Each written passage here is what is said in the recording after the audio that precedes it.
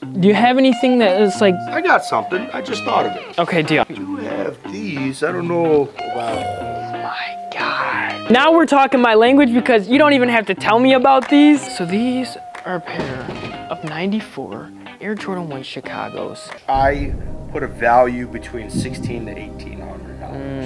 Hmm. I was thinking around like 1100 that I could spend on these in cash. Okay, so eleven hundred including this, because I was thinking more on the lines of valuing this at one mm-hmm. putting these at the thirteen hundred, and knocking off the one fifty to eleven fifty on these. If you want to include the pack, the highest I could go completely is 1050. And we get the pack. And I get a couple minutes to discuss You this. you go right ahead. Okay. So after talking to my business partner, you got a deal. Ten fifty, the pack of Pokemon. Just like that.